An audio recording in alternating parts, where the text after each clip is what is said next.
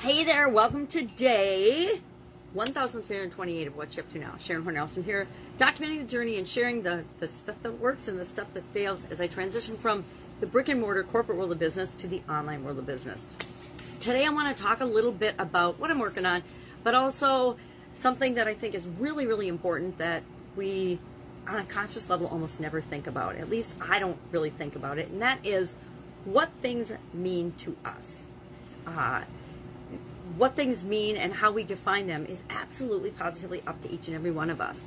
And our idiom, our expression for Supersize Your Business today was talent wins games, but teamwork and intelligence wins championships. And to me, there's so much in that expression, so much in that idiom, so much wisdom, but also so many ways that we can take it and define it differently, and it can mean different things to, to different people. Now, with respect to growing and building and supersizing our business, it of course means that, yep, you can be talented on your own and you can win. You can get some wins. You can have some success in your business. But if you really want to grow and supersize it and win the overall big game of success in your business and business notoriety, it's going to take intelligence as well as other people. It's going to take teamwork.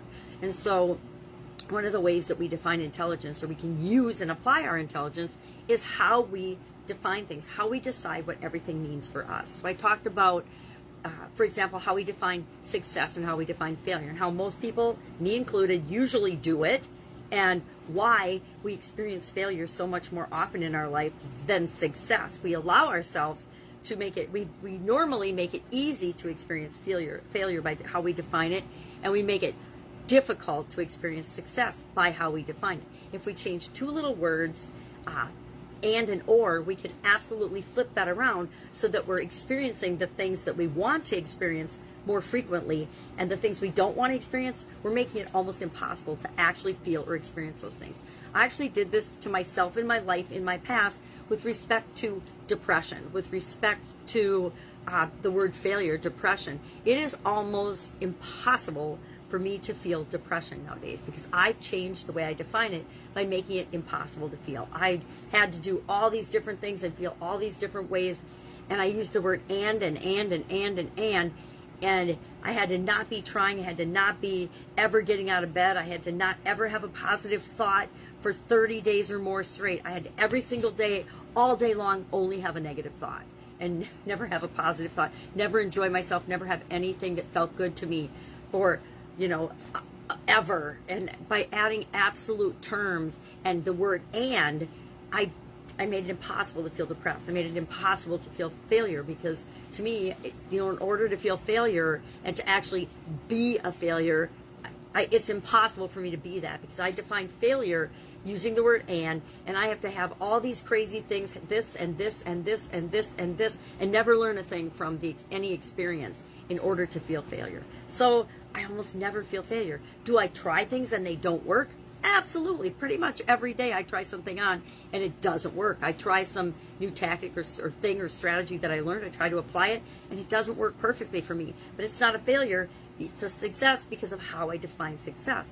To define things I want to experience more in my life now, I use the word or. So I break down all the different ways that I can feel success or positive or happy about something, any feeling I want to experience more of, and I make it easy to feel and experience that feeling. So it's really, really happy for me to feel, uh, really, really easy for me to feel happy, accomplished, success, positive, um, delighted, curious, and it's really, really hard for me to feel things like doubt, worry, fear, anger, uh, jealousy, judgment, because I made my definition of those and this and this and this and this. And so it's almost impossible to experience and feel those things versus success, happiness, joy, love, freedom, the things I want to feel. I've defined them so that it's easy for me to feel them using or statements. I make it easy. If I have even a penny in my purse, any money in my bank account at all, I feel successful. If I treat anyone in any way, shape, or form,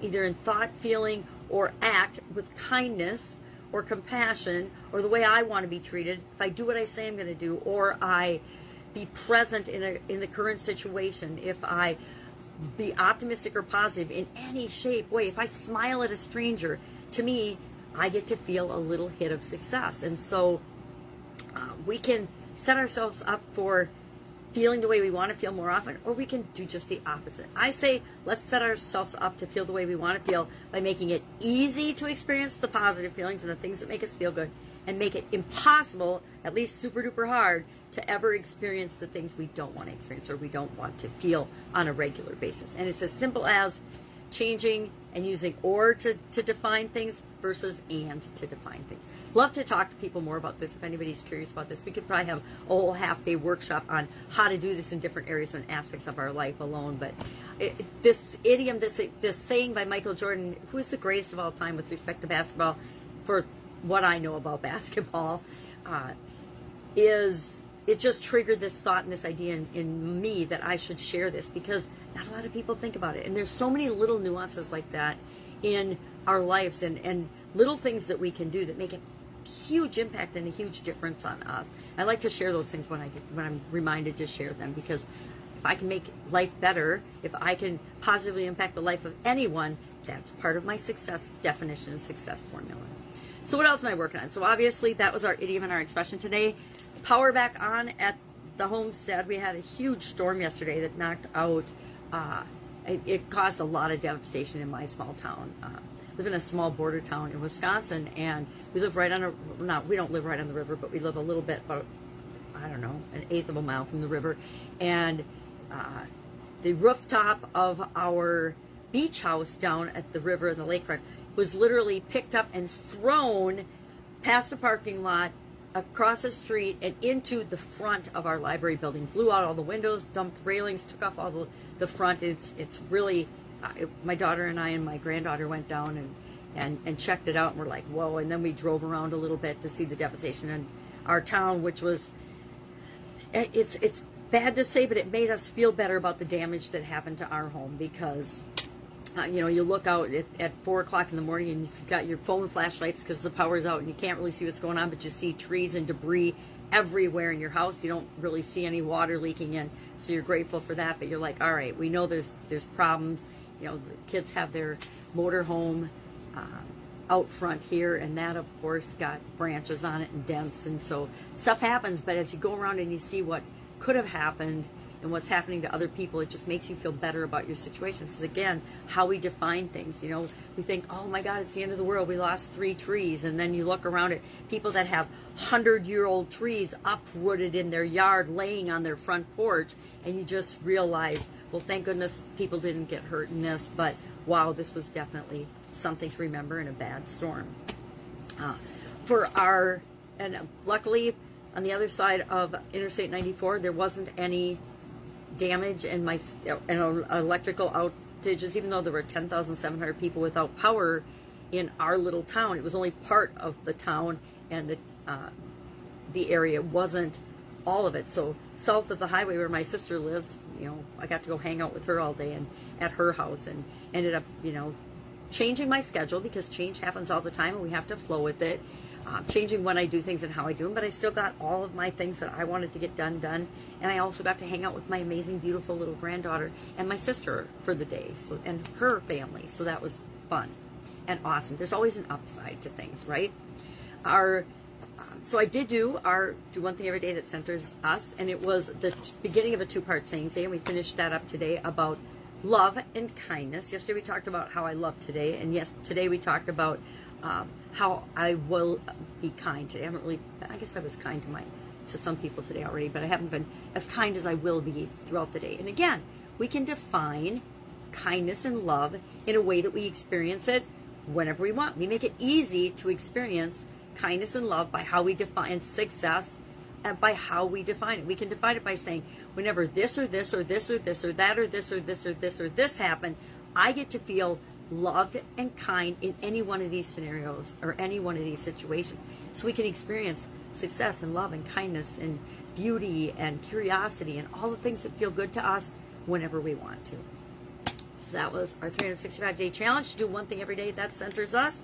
And we'll continue working on that. You know, whenever I get to the, we're almost to 265. When I get to 265, I'm like, wow, we're on the downhill stretch because there's only 100 days left. So we're coming up close on that, day 261 today.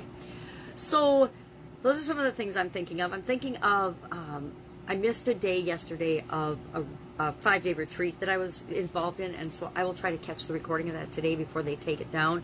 Uh, not super frustrated or worried about that because my bigger challenge is figuring out how do I get my internet working.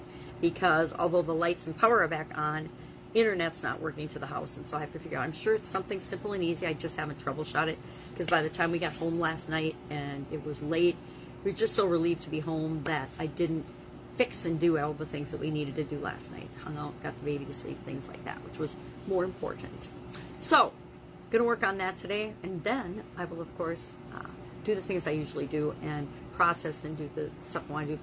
Thankfully, nowadays, we can do almost all the work that we do via our cell phones, and we don't have to have an internet connection to, to accomplish the things we want to accomplish. Although it does help. We have, you have to have a cell phone which has a connection or an internet connection or both. But it's easy to go and find those pieces even if they're not functioning in our normal location.